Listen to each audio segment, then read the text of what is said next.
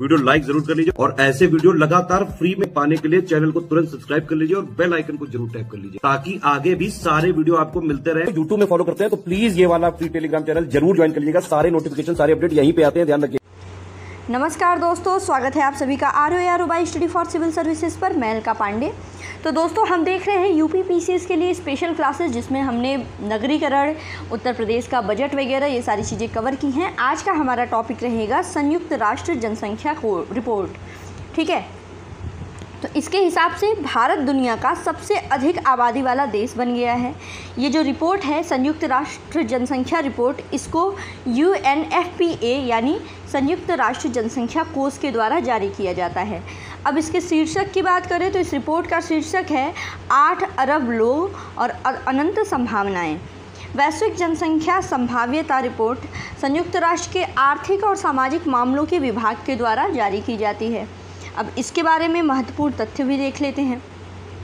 इसमें देखिए, विश्व की कुल जनसंख्या, जो कि आठ दशमलव शून्य चार पाँच बिलियन है, इसमें से सबसे बड़ा भाग, लगभग पैंसठ परसेंट, ये पंद्रह से लेकर के चौंसठ वर्ष की आयु के बीच के लोगों का है।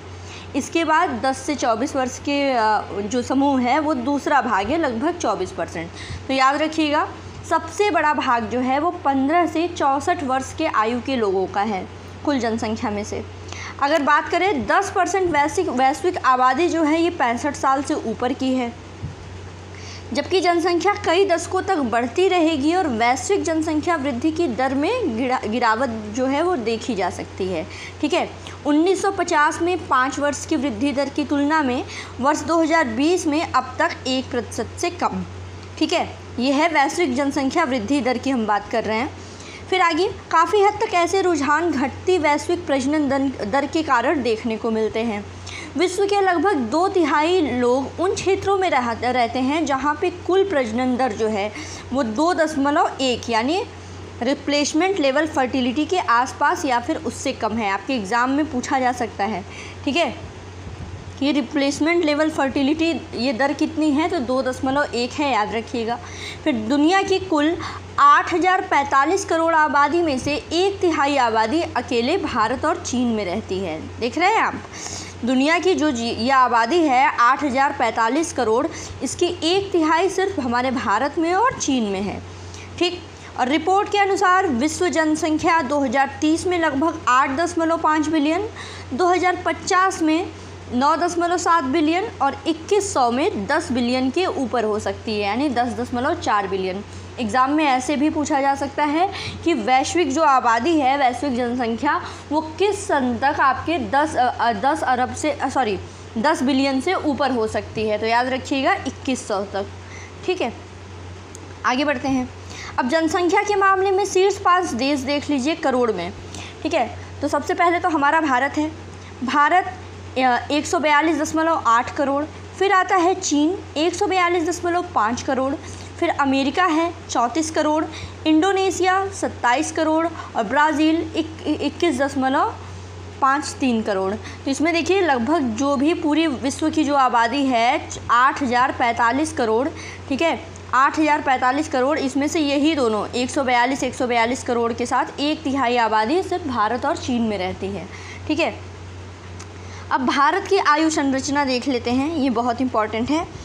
भारत की देखिए आयु संरचना इसमें अठहत्तर परसेंट लोग जो हैं हमारे यहाँ यंग आबादी है। अठहत्तर अरे सॉरी अड़सठ परसेंट लोग जो हैं ये पंद्रह से लेकर के चौंसठ वर्ष के आयु के बीच में हैं।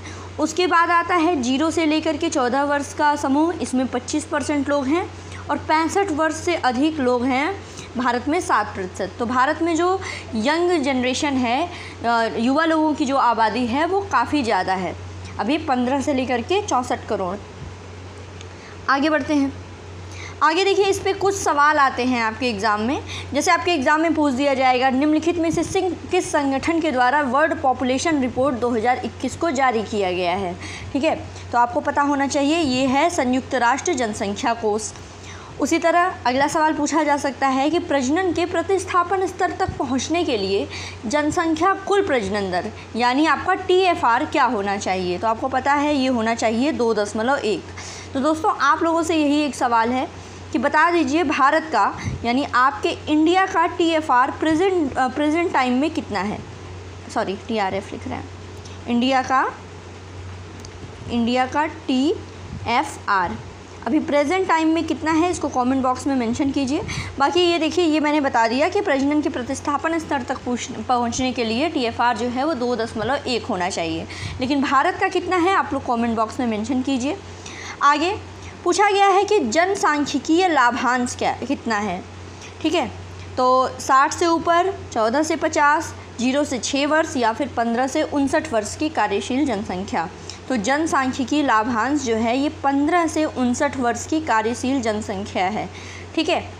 तो ये दोस्तों हो गया आपका इस रिपोर्ट के बारे में, क्योंकि देखिए, अभी तक क्या हो रहा था कि चीन की जनसंख्या जो है भारत से ऊपर की थी, ठीक है? लेकिन ये जो रिपोर्ट आई है आपकी यू एन की, इसमें संयुक्त राष्ट्र जनसंख्या रिपोर्ट के हिसाब से अब विश्व में सबसे ज़्यादा जनसंख्या भारत की है, ठीक है? तो ये कुल मिला जुला के इस रिपोर्ट के बारे में था।